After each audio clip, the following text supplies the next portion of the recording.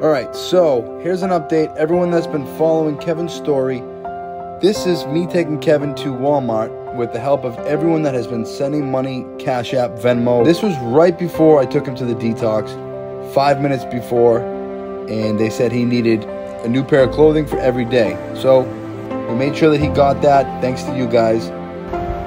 Kevin, you having cold feet? No, Good. never. Keep those feet warm. Always. Let's go. Seven days. Benefit yourself.